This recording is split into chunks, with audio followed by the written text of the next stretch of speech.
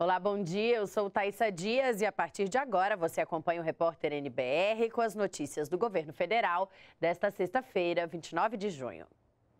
A Agência Nacional de Energia Elétrica, ANEEL, realizou o primeiro leilão do ano de linhas de transmissão de energia elétrica. O repórter Paulo La Salve acompanhou na sede da Bovespa, em São Paulo, e tem os detalhes.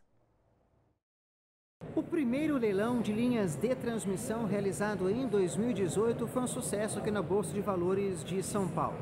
Todos os 20 lotes oferecidos foram arrematados.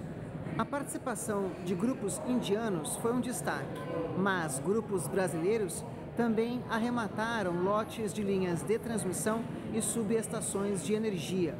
Ao todo, o leilão vai permitir investimentos da ordem de 6 bilhões de reais no Brasil e também a geração de mais de 13.500 empregos diretos na economia brasileira. Como houve um deságio em relação ao valor proposto pela Agência Nacional de Energia Elétrica, o custo da tarifa de energia também vai ser menor para o consumidor. Isso significa que os grupos empresariais que arremataram os lotes aqui na Bolsa de Valores de São Paulo ofereceram propostas para a construção, manutenção e operação das linhas de transmissão e das subestações de energia bem abaixo do que o proposto pela Agência Nacional de Energia Elétrica. E isso vai impactar no bolso do consumidor brasileiro. Da Bolsa de Valores de São Paulo, Paulo La Sálvia para a TVNBR. Termina hoje a primeira fase de pagamentos do fundo PIS/PASEP. Quem tem 57 anos ou mais e trabalhou entre 1971 e 1988 tem até hoje para sacar o dinheiro. Depois, só em agosto, já com valores reajustados. Os saques chegaram a quase 800 milhões de reais. Terminam hoje as inscrições para o programa Universidade para Todos. São 174 mil vagas em 1.400 instituições de ensino superior. As inscrições devem ser feitas exclusivamente pela página do ProUni na internet. Para se candidatar, é necessário ter feito o Enem de 2017 com no mínimo 450 pontos e não ter zerado a redação. E o presidente Michel Temer assinou decreto para ampliar a entrada de estudantes negros na administração pública.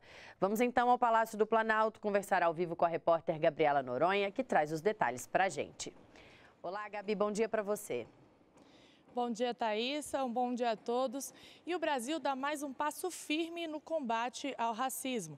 Com essa frase publicada ontem nas redes sociais, o presidente Michel Temer definiu o gesto né, da última quinta-feira ao assinar um decreto que reserva 30% das vagas de estágio e de jovem aprendiz para negros. Segundo Michel Temer, negar o acesso de jovens negros ao mercado de trabalho é uma das formas mais perversas de exclusão. Temer disse ainda que o governo está pagando mais uma parcela da dívida histórica que o país tem com a população negra. Eu acompanhei ontem aqui no Palácio do Planalto a cerimônia de assinatura desse decreto. Vamos acompanhar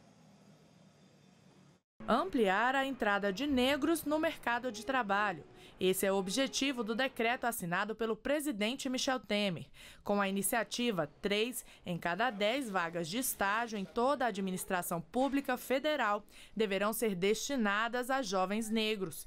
De acordo com Temer, a medida faz parte de um dos principais pilares do governo, a responsabilidade social. Eu pedi a todos que assinassem esse documento que eu, é, que eu considero, e acho que todos nós consideramos, um documento histórico de inclusão é, social, porque nós estamos dando mais oportunidades para segmento da população que enfrenta, vamos ser muito claros, enfrenta conhecido histórico de exclusão, que é vítima, naturalmente, das mais diferentes formas. O ministro dos Direitos Humanos afirmou que a mudança será aplicada na administração pública, autarquias, fundações públicas e sociedades de economia mista controladas pela União e vai valer para a contratação de estagiários e jovens aprendizes. Gustavo Rocha destacou que o decreto vai além do que determina a lei de cotas em concursos públicos. Todos nós sabemos que existe a lei de cotas,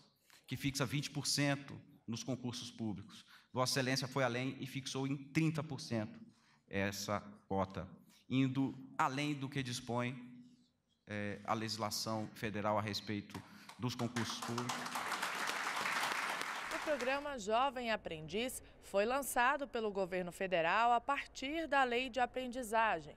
Segundo o ministro do Trabalho, só em 2018 foram mais de 35 mil novos postos de trabalho para os jovens aprendizes. Para o ministro, a reserva de 30% das vagas para negros vai combater o trabalho ilegal e reduzir a violência contra essa população. Essa medida, tenho certeza, vai viabilizar oportunidades para afastar jovens do mercado do trabalho ilegal. E mais que isso, vai caminhar no sentido positivo de impulsionar a inserção da população negra brasileira no mercado de trabalho. Destaco ainda que este decreto se instrumentalizará como redutor da violência contra a população negra. Petrobras, Banco do Brasil, Caixa Econômica Federal e Banco do Nordeste assinaram termo de compromisso, aderindo à política de reserva de vagas para negros. Para o secretário nacional de Políticas de Promoção da Igualdade Racial, o decreto é uma ação histórica. Esta ação, que também é afirmativa, representa muito mais que uma oportunidade de princípio de primeiro emprego, ele representa a construção de uma democracia com justiça social. O estagiário Marcos comemorou a medida. Para ele, a iniciativa deve incentivar mais estudantes a ingressarem no mercado de trabalho. Precisamos democratizar, precisamos ainda é, dar oportunidade àqueles que ainda não são ouvidos.